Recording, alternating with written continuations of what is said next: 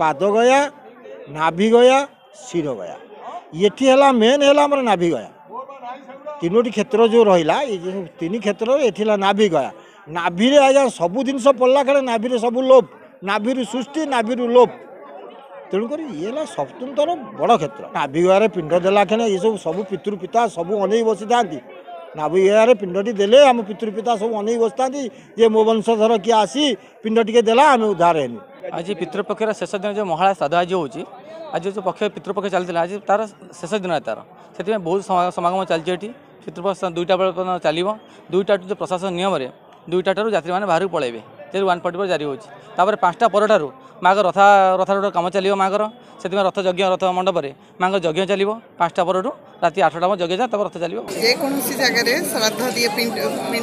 ଦିଆଯାଇଥିଲେ ବି ନାଭିଗୟାରେ ପିଣ୍ଡ ଦାନ କରାଗଲେ ପିତୃପୁରୁଷ ମୋକ୍ଷ ପାଇଥାନ୍ତି ବା ସେମାନେ ଆମକୁ